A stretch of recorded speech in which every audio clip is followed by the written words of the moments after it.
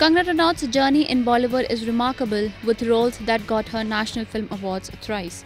She is now geared up for her next Manikarnika, Mental Hai Kya, and a sports drama directed by Ashwini Iyer. Talking about Manikarnika, the Queen of Jhansi, Kangana told IANS, I met with a nerve wracking accident while shooting the film. It left me with a scar on my forehead. But when I look back now, I carry the scar with pride. I am nowhere close to Jhansi Ki Rani, but her story definitely gave me courage and strength to do this physically challenging part. Manikarnika, the Queen of Jhansi, is an epic biographical film based on the life of Rani Lakshmibai of Jhansi.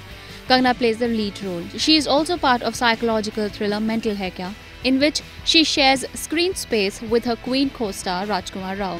Kangana hopes the audience will like this film too. The 31 year old is someone who also faced tough times in Bollywood, but she says that has not changed her as a person.